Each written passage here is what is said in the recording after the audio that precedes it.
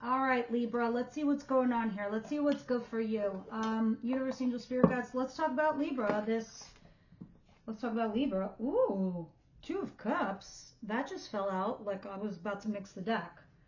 I'm going to leave that out. Let's see what's talking about. Because Two of Cups is a partnership.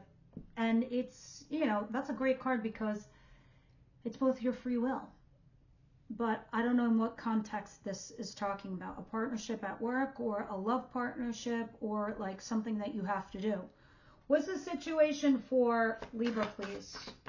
This first week of October. Page of Wands, okay.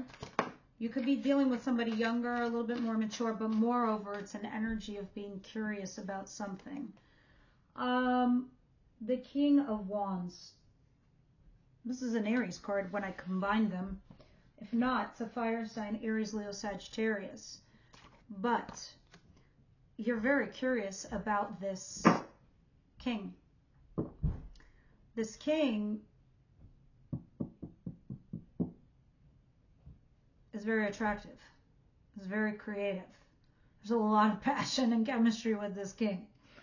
I could see you're hopeful and positive back here with the star card. All right, let's continue.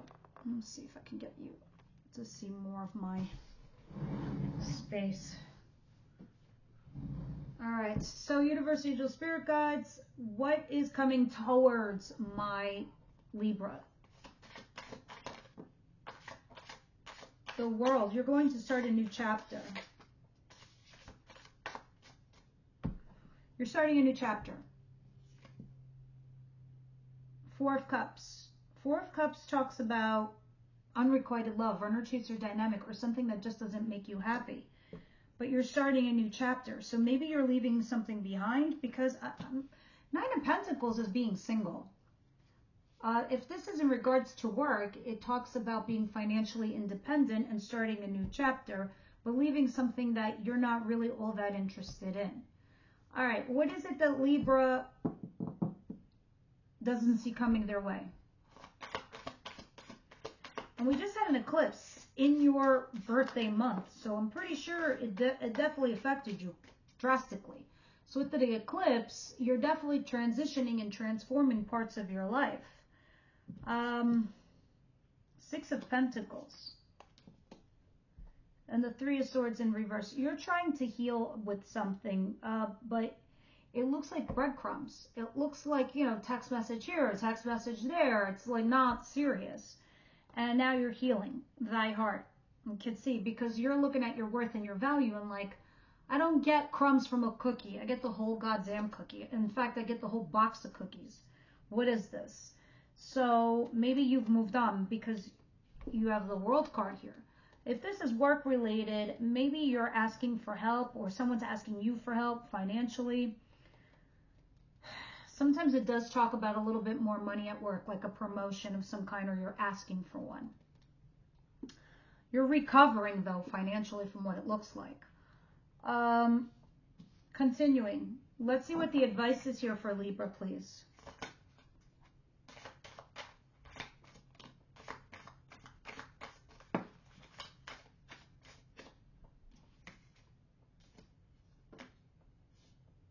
Oh, too many. But let me see if there's a common thread. I'm going to put some of these cards back. Uh, the Seven of Swords in reverse at the bottom of the deck. The Nine of Cups and the Nine of Pentacles. That Nine of Pentacles came out again. We're definitely talking about self, strength, resistance, Five of Swords, mental jungle in your head, repeating and ruminating over something. Knight of Pentacles, picking up the pieces and moving forward slowly. And the Queen of Pentacles, being nurturing, love, kind, and caring. That is always you, Libra. You are always kind. You're always nurturing, loving, and caring. But now you're ruminating over something in your mind that you need to cut out or sacrifice uh, and be on your own, whether it's financially or in a relationship. Um, you're seeking your wish fulfillment, though. Uh, so with that said, you need to resist some shit and find your own wish fulfillment. You do have to do something independently okay?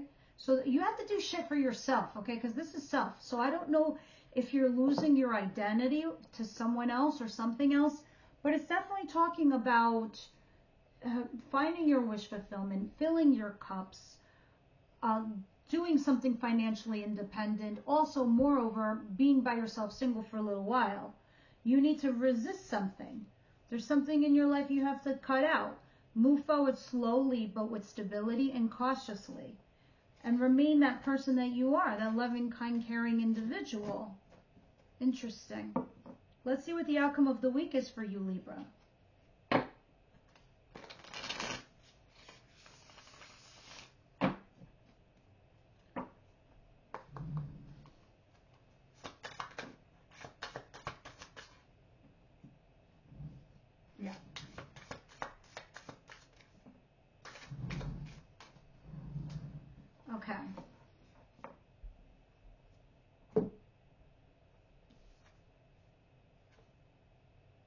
the Emperor, which is an Aries card, the Devil, which is a uh, Capricorn, Two of Wands,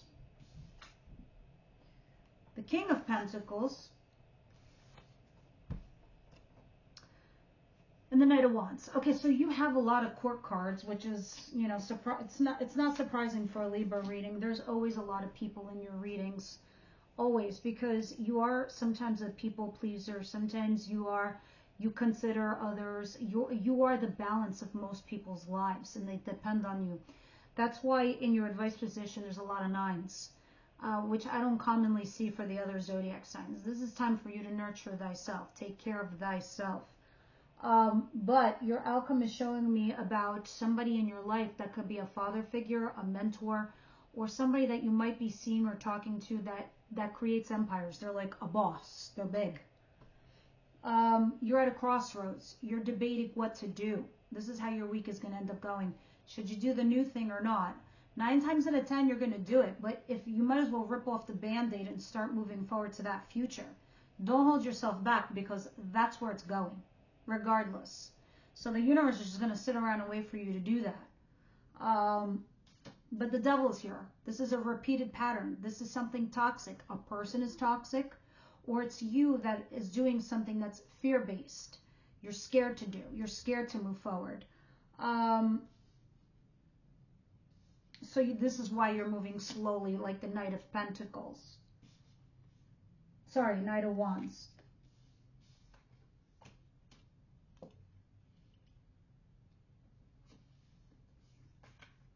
You have a King of Pentacles here too.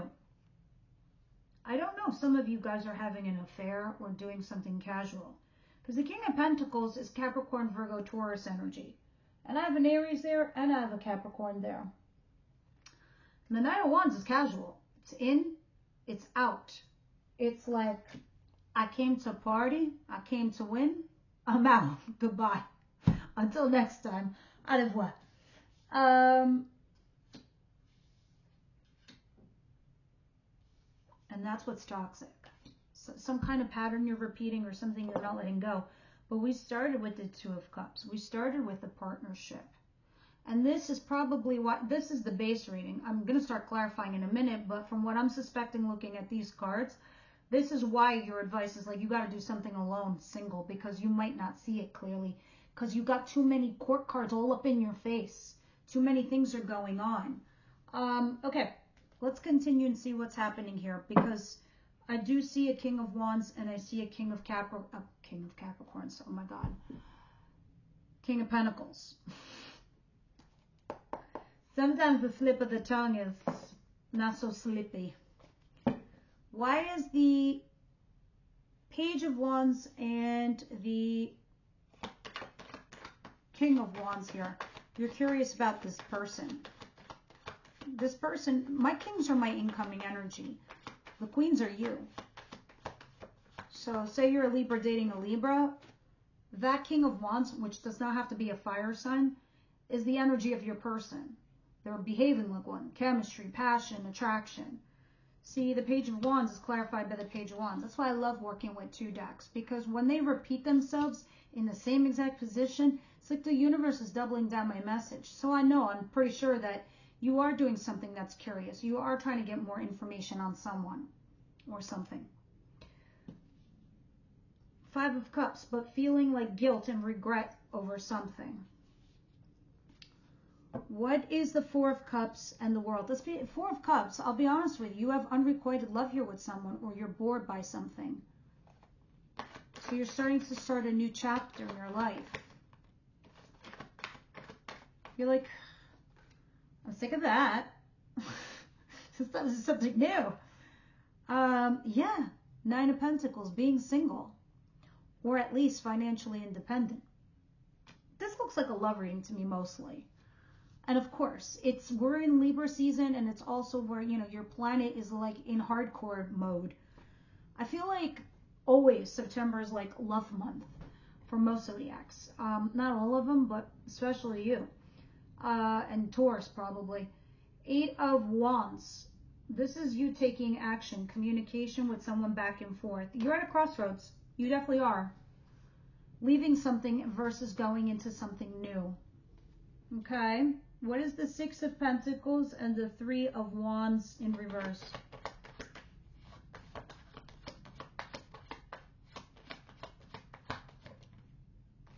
The Seven of Swords is stepping out.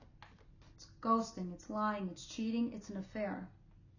You're recovering from something. I don't know if your person cheated on you or you guys are recovering from you stepping out or someone's ghosting you or for the love of God, it looks like an affair. Um, oh, of Cups. Third angle. Let me see why all these nines are here in your advice.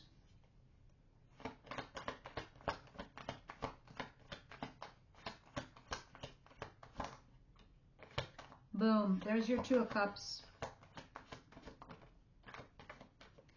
When I see Two of Cups in the advice position, it does talk about, like, if you remember at the very, very beginning of this video, rewind it and replay if you have to. Remember the first card that fell out was the Two of Cups? I'm like, oh, I'm to leave it there so I could see what it's talking about. Well, here it is. It's presenting itself in your advice position. Because I didn't know if it was talking about you getting into a relationship or you uh, wanting a relationship or you need to work uh, with a partnership. And here it is. It's falling in your advice position. You need to work at a partnership. You need to work at a relationship. And you also have temperance, which is tempering yourself and being patient. Okay. So you do need to temper yourself. You do need to be patient. You do need to take a moment alone uh, to think about who's the right partner for you and then work on that partnership all right? Because you have blocks, obstacles, and challenges, and right now there might be some arguments, and your head might not be so clear. Let me see what's going on in your outcome over here. With the devil. Look at my face. With the devil. Hierophant's out here. Marriage, commitment. And the world card. I don't know if you are ending a marriage or you are something to do about marriage and or commitment and starting a new chapter. You're definitely on a crossroads. You, you ended something or someone ended something with you. Ten of Swords.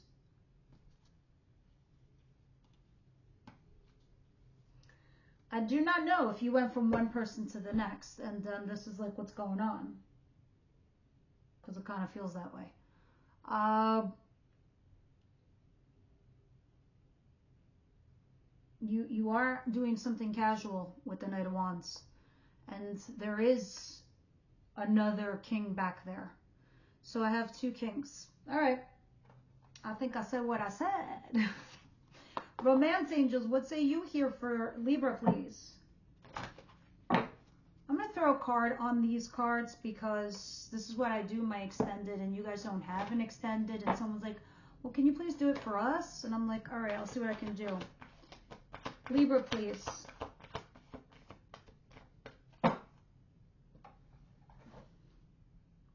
Worth wait. Everybody got this card worth waiting for. And I feel the reason why the whole collective is getting this card, I really feel like the universe is shuffling around people, shuffling around partnerships. They're like, hold on, hold on. We're going to play like, you know, the roulette wheel and and then where it lands, we start dispersing people to other people. It's funny. Worth waiting for, says there. But the Priestess of Light Oracle is the best advice cards. So let's see what you get, Libra.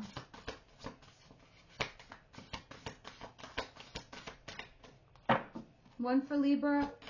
Flop it or I pick it. Nope, too many. Flop it or I pick it. Okay. Let's see.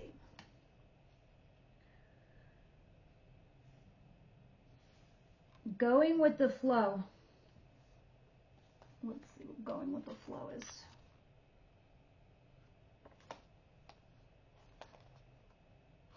You actually have two cards. You have Going with the Flow and Circle of Eternal, Eternal Joy.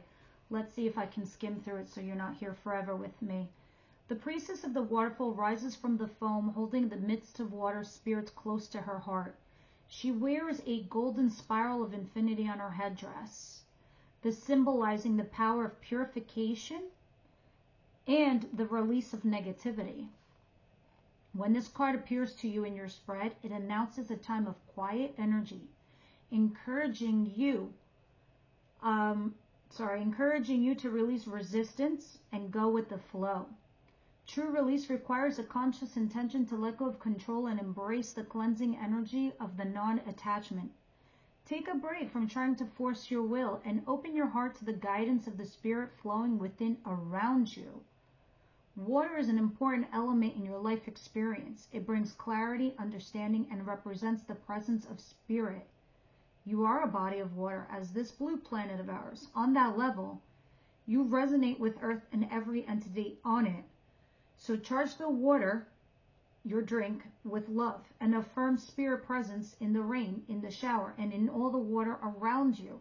The, this cleansing intention purifies your energy and releases limitation and negativity. Such a clear and vibrant resonance that opens your life to the unlimited flow of abundance available to you. So let go and let yourself receive. Interesting. And you also got this the circle of eternal joy. Look at this card well because they're going to start describing bits of bobs about it. Let's see why you got this.